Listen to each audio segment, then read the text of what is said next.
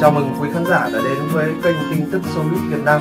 Kính chúc quý khán giả có những giây phút trải nghiệm thật tuyệt vời bên chúng tôi.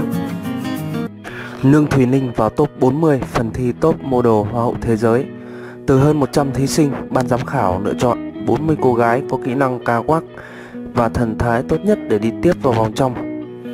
Cuộc thi Miss World Hoa hậu Thế giới 2019 đang diễn ra tại London, Anh. Ban tổ chức vừa công bố top 40 thí sinh của phần thi top model, trong đó có Nương Thùy Ninh.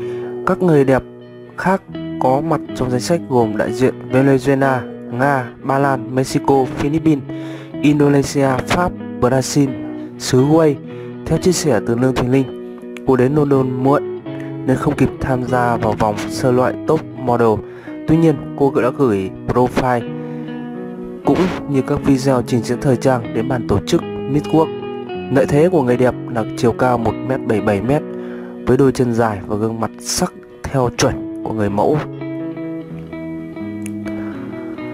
Trên trang cá nhân của mình, Hoa hậu mới X đã bày tỏ niềm vui khi có được thành tích nhỏ đầu tiên. Top Model được đánh giá là một trong những phần thi phụ quan trọng tại Hoa hậu Thế giới. Hôm 24 tháng 11, Lương Thùy Linh cũng thông báo cô và dàn thí sinh đã trải qua vòng loại của phần thi tài năng. Lương Thùy Linh đã chọn ca khúc quốc tế Arminion Dream để thể hiện tại Miss Quốc 2019. Cô tâm sự mình không có giọng hát hay nhưng rất yêu thích bản nhạc này cũng như ý nghĩa của nó. Bài hát không nói về ước mơ mỗi cá nhân như kiếm được nhiều tiền, mua nhà to mà là giấc mơ làm cho thế giới chúng ta đang sống trở nên tốt đẹp hơn. Mới ít viết trên trang cá nhân.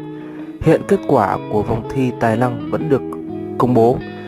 Chung kết Hoa hậu Thế giới 2019 dự kiến được tổ chức vào ngày 14 tháng 12 sau khi Miss Universe khoảng một tuần.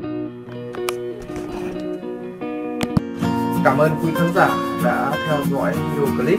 Nếu hay, quý vị hãy chia sẻ và đăng ký kênh để xem những ờ, video tiếp theo. Xin cảm ơn quý vị rất nhiều.